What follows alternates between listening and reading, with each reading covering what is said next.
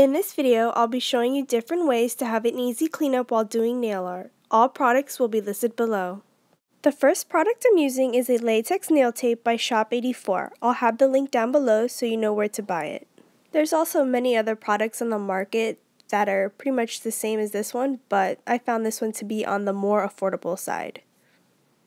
Anyways, this product comes in a nail polish bottle and it applies easily. It dries within a few minutes and it has a bit of a smell to it, but it's not too bad. I take it off with my tweezers and if there's still nail polish on my cuticle, I take it off with pure acetone and a brush and clean it off that way. The next product is NYC Strip Me Off Base Coat. It's meant to be a peel off base coat, but it really works well for cleaning up too. This product dries in 10 minutes and I take it off with my tweezers as well many brands have similar products to this. So if you can't find this particular product from this particular brand, just look around and I'm sure you'll find something similar to it. Like I know OPI has one.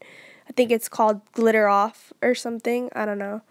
I don't recall. But yeah, this cost me $2, so it's really affordable.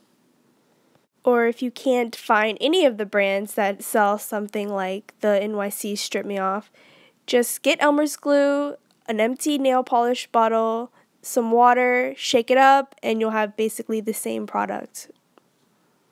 The next product I'll be showing you is Vaseline. Just take a brush or a q-tip and dip it into the Vaseline and spread it across your finger.